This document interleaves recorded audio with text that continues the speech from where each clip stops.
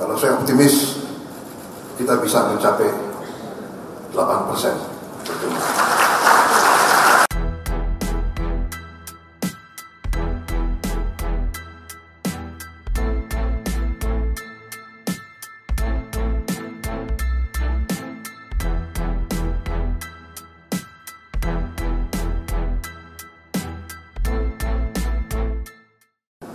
Percepatan pembangunan vital bagi masa depan bangsa kita. Tadi Menteri Perekonomian menyampaikan bahwa kita optimis bisa mencapai lebih dari 5% pertumbuhan.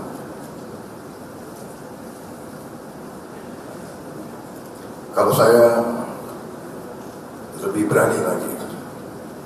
Kita harus berani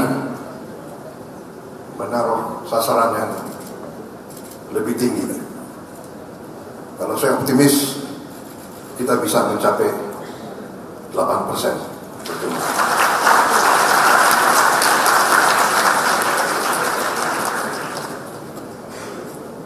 Bahkan saya taruhan dengan beberapa menteri dari sebuah negara tetangga.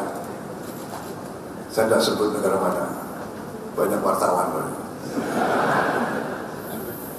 Semua direkam tapi ada beberapa menteri dari sebuah negara yang taruhan sama saya Your Excellency if you can achieve 8% growth once sekali saja dalam lima tahun akan datang kita mencapai 8% mereka they are going to buy me dinner. Mereka akan akan beli makanan makan malam untuk saya.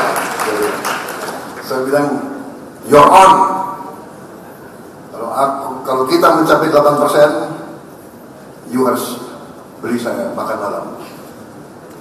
Ya kita nanti lihat aja. Ya. Kalau saya lihat, saya sangat optimis. Kekayaan kita sangat besar, potensi kita sangat besar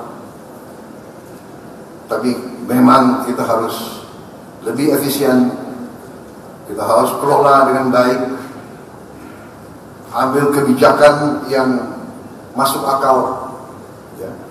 dan kita harus bertekad untuk mitigasi kebocoran mitigasi penyelewengan mitigasi kebijakan-kebijakan yang tidak menguntungkan kepentingan nasional dan kepentingan rakyat.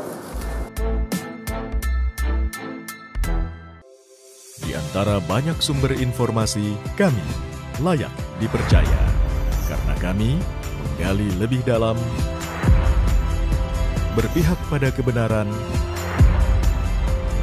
berpegang pada data dan fakta agar layak Anda jadikan referensi. Kompas TV, independen, terpercaya.